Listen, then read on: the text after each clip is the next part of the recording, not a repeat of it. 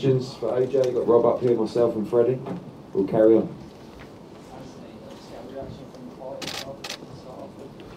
Well done to the winner. And um, we'll be back again. Get back into training. Great 12 rounds. Great experience as well in the ring. And then we progress from this point on once again. So um, we'll be doing it all again soon.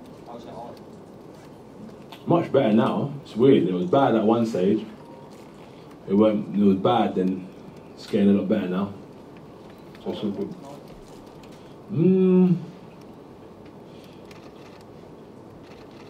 What went wrong? Just taking a loss, but we'll get it right. Probably the ninth. From the ninth, I couldn't see in the ninth round. I couldn't see anything really. like, eye was shut. But it was a good experience because, like, in adversity, um, you just got to learn to control yourself, stay on top of things. So when I couldn't see anything, it's the first time it's happened in a fight. So I was thinking, all right, cool. This is the first time my eyes closed up in a fight. I can't see nothing. But I'm looking at a one eye kind of thing. And um, yeah, but it's got it got better as the rounds went on. Good pace, and we'll be back. Hundred percent, hundred and ten percent. I'm ready to get back to training because of the twelve rounds. Um, my lungs and everything. It was a good twelve rounder, so I'll be in a good place when I get back into training to pick up where we left off. Huh? Oh, thank you, mate. Appreciate it. Thank you. Anthony, in terms of your eye, if it hadn't swollen up and you'd been able to see, what was your strategy in those last few rounds? Um, same. Continue pro- continue the process.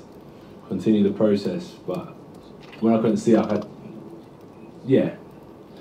But yeah, just continue the process. To be honest with you.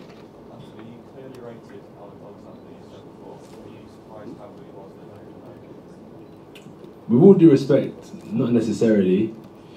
Um, he's just a lot lighter, so the pace, got a good pace, but um, he still gets hit. You know, gets hit a lot, and in the rematch, you'll just learn how to hit him more and be more concussive with our punch selection. AJ, you've got you obviously prepared a long time for Usyk. Is there anything specifically in the ring that you didn't expect or, or was struck by in his performance? In his performance? I never tend to look at the opponent. I just tend to look at myself and realize where I went wrong. So it's not so much what he done; it's the opportunities I gave him. So it's not so much him. I'm just going to go back and look at myself and correct my wrongs.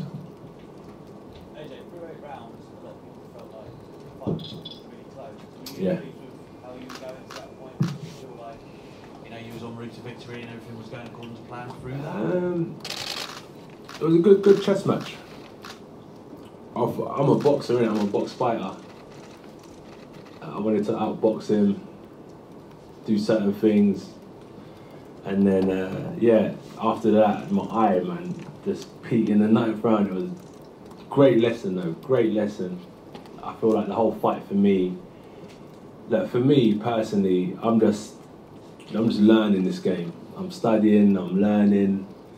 It's part of the process. Um, eye closing up.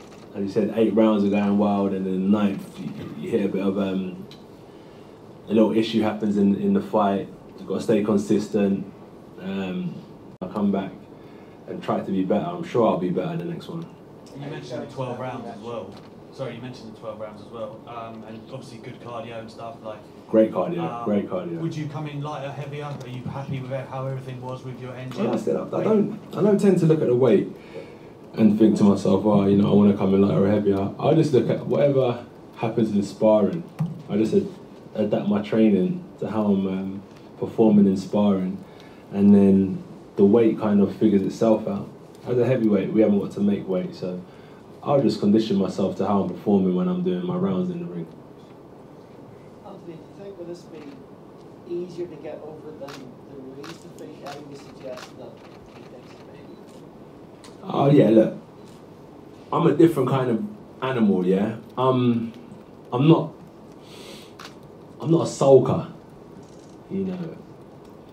This is a blessed opportunity to be able to fight for the heavyweight championship of the world, to fight good fighters time and time again, for people to come out. So uh, yeah, it's a blessed opportunity. I'm not I'm not going to go home tonight and be crying about it because this is war. Um, it's a long it's a long process. Like this isn't just like one fight and then I'm done. I've got an opportunity to go back to the drawing board, so I can't go back and sulk. That's wasting time. I'm going back to look at ways I can improve straight away. I've already been watching the fight and figuring out, oh, I could have done that better already in my mind anyway. So yeah, I'm not too bothered. But what I'm bothered about is how much better I can get. That's where I'm putting my energy. I'm not putting my energy into sulking. I'm putting my energy into ways I can improve. AJ, you'll, you'll go into this rematch almost certainly as the underdog, which you haven't had for a long a long while, certainly since Klitschko, maybe before. Is that could that possibly suit you? That in terms of mentality, that people might not be expecting you to win. I don't look at it kind of like underdog or whatnot. If you know me, I'm not. I'm not fussed about. I always say that the belts don't represent me. I represent myself. So underdog or champion is what it is. But um, I'm just looking to go in there improved, stronger, smarter, and um, yeah, I'll get. I, I believe I'll get a good win in the next fight because of what I learned this fight. I'm I'm a quick learner, and we'll bounce back. Anthony, there's been um, a few of criticisms naturally of the game plan to sort of choose to engage Usyk in a bit of a boxing fight. Do you have any regrets about that? None at all. As I said, it's all about experiences. You've got to trust the process. Um, if it went well tonight, it would have been perfect, but it didn't. So I can't really look at it and have any regrets. We went through the process, but what I'm happy about, as I said, you've always got to look at the positive, is that I can go again. And I've got a chance at becoming, you know, heavyweight champion of the world again. So only positives from here, moving forward. I've had enough of looking at things from a negative point of view. Like we always tend to look at things from a negative point of view. I'm just keeping a positive head on my shoulders. And um, game plan or not, as I always say, the game plan is to win. The game plan is praying. The game plan is to win, and that's all I focus on. I'm not really worried about anything else um, that happened tonight. Thank you again for coming to talk to us. No problem. in the fight where you felt um, you're getting a foothold and building momentum at any stage? Always, always, always, always. There were certain things I was doing in the fight that I've never done before, um, as I'm gaining experience. So yeah, I felt like I had a good foothold in the fight, and I'm going to build on that. You know, I'm definitely going to build on that. Could I ask, um, Anthony, could I ask your coach, uh, Rob McCracken? Feel free. Um, Rob, um, obviously, you will have seen what happened tonight. Um, you know, and Anthony was box fighting, uh, a boxer. Um, what would you suggest is, is a game plan, a better plan going into a second fight? Because that's obviously what Anthony wants, what Eddie has told us he wants. Where do you go back to with the drawing board, and, and what do you do against this guy, Usyk? Yeah, there's, there's no drawing board, Gareth. Um, the proverbial. yeah, there's no drawing board to be honest. Um, you've got to apply pressure behind your jab and your right hand, and you've got to keep him off balance, and you've got to put shots together when you get there. Uh, as we've seen tonight, Usyk's a very good boxer. But look, you know, Anthony's already addressed that he's learning on the job, and you know he showed that in the Ruiz rematch. And I've got no doubts that if you know he applies himself, which he will, that you know he'll get a great performance in the rematch because Usyk, uh, Usyk's boxed tremendously well tonight, and Anthony will have learnt loads tonight. You you know you've got to got to apply better pressure with a fighter like that, and not give him too much time, and that's really what should happen. Did you feel, Anthony, that you had him hurt at times in there? Certainly the fifth and the sixth round, you had a lot of success to the body, and you, you seemed to have ascendancy in those rounds. Um, yeah, definitely, definitely. But we went 12 rounds, so yeah, you hit people hard, you hurt them, but they're smart. They're good boxers. At this level, people know how to survive. Um, when you hit someone hard, they know how to ride the shot. They know they're just quite intelligent at this level. So even though you hurt them, it's not it's not so concussive where the next punch that lands is going to knock them out it's like chopping down a big tree. It takes a bit of time. It takes a few, a few shots with an axe. when you're at a different level a lower level, it's a lot easier to knock someone out. So I'm at a stage in my career where I'm trying to progress and I'm trying to level up. And I will get there for sure.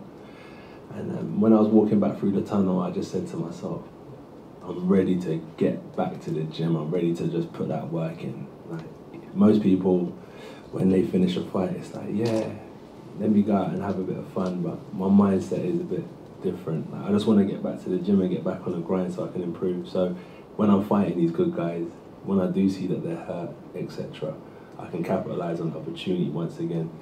Um, but as I said, like it's a great lesson today. It was a great lesson. I know we can look at it from a negative point of view, but for me, I've got to take it as a great lesson and build on that situation. You grew after the Andy Ruiz fight. We've seen you grow. Are you going to grow from this? Or? Hundred, hundred percent. As I said, I'm not a weak person. I don't want to be in my in my bedroom like sulking about the situation. I'm looking at it from a point of view like great lesson. Go back, study, um, and just rejuvenate myself because no one's going to do it for me. I can't depend on anyone to come and pick me up and pat me on the back. That's why I'm not going to, you know, put my head in my palms and cry all night about it. I'm going to lift myself up. To look myself in the mirror and say, I know I can do it. I just got to put myself up to it. And that's where I want to get back to training, back to the drawing board and get back on the gravy train again. It's like, if this was the end of the story, it'll be more emotional for me. But I know that I've got. I, I trust in my process. Whatever's happening, good and bad, I just trust in my process. And Anthony, uh, it was the first southpaw fighter that you fought since Charles Martin. Did that make it extra difficult on the night? Um, there's an old saying in it: if you want to go down as a great fighter, don't fight southpaws, especially good ones. so uh, he's a good fighter. He's a good fighter. Southpaws are, are tricky, right? They're not. They're not the easiest fighters. I know if I was fighting an orthodox fighter, I probably would have knocked him out by the night, no matter who it is. But I know this experience today is invaluable, and the next fight will benefit me a lot. Will this what I went through today will have a massive benefit for me in the next fight, right? I don't think it's going to do me any worse. I'm going to come out with a positive mindset, with great experience from this fight, from the whole training camp I can build on. So it's not a bad thing. And after the fight, did you exchange words with Alexander Usyk? Not after after the fight. No, I was just quite disappointed. Um, it was a fast-paced fight. I was catching my breath, but in the changing room, I've just said to him, "I'll see you again." Really, I'm looking forward to it. Sent a message to his kids as well, saying hello, and that's it. AJ, couple, couple more questions, guys. I know you're looking forward into the future. How you Yeah. come back from this, of course, and you've got a positive mindset. But is any part of you look back to the fact that that undisputed fight was so close, and now you know it's back to square one, starting again, getting those title fights? Does it frustrate you a little bit? Nah, nah, nah, nah, nah. Like the the road to undisputed and stuff is like it's, it's marketing, isn't it?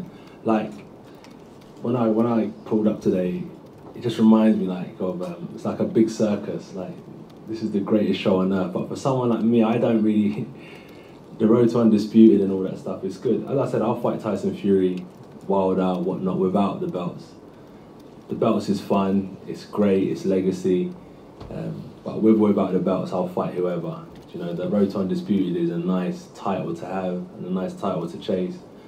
But would you still watch it with without the belts? 100%. Exactly. So that's the main thing is that you have got two competitive fighters in the ring um, from UK soil that just want to go toe to toe. I think it's important to address as well that we had a full packed stadium today, 70,000. Uh, probably one of the, probably the biggest um, since the lockdown. A few words for the fans that came out today. Sorry, a few words to the to the fans that came out. Um, I'm just hoping that they're happy. Like, in t- obviously, certain fans that were here for Usyk are happy. Certain fans that were here for me aren't happy. Um, so I'm just hoping that they had a good night tonight because that's what matters to me. I just want to make sure that people appreciate the work I put in because I don't take it for granted. As I always say, is that when I come out, I'm just looking at like, yeah, I'm the man. I'm looking at like that's why I want to get back to the gym and work hard because I don't take it for granted. I know how these people put their time and effort into supporting me. And I know it's going to upset some people that I lost, but I say keep positive. Like, this is just part of life. Everyone's going through stuff in their life. I go through some stuff. Mine's just publicized to people. And we just got to keep on moving, keep my head up. No one's going to pick me up. That's what I'm trying to say. We'll go through stuff. And I'm just going to get back on the gravy train. Hope people had a good time tonight. And um, I hope they can learn from my situation and not give up. Like, stay strong. Like, that's exactly what I'm gonna do, and we'll see when when roughly next year. Yeah. Next year, I'll see them all next year.